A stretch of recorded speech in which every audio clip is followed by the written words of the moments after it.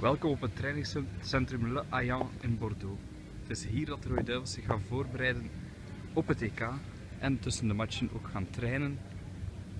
Mag jullie even rondleiden in de mediafaciliteiten.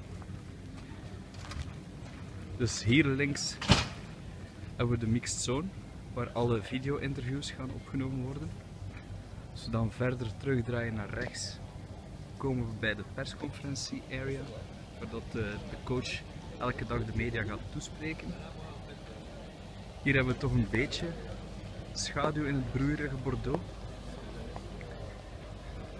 En hier aan de rechterkant gaan we de werkfaciliteiten voor de media zien. Alle noeste, hardwerkende journalisten daarin.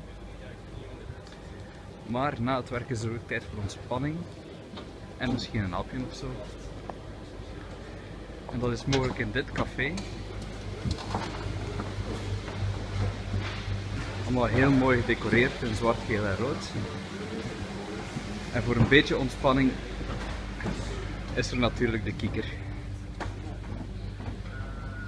Voilà, dit is een eerste blik van uh, het treincentrum van de Rode Duivels. Tot morgen.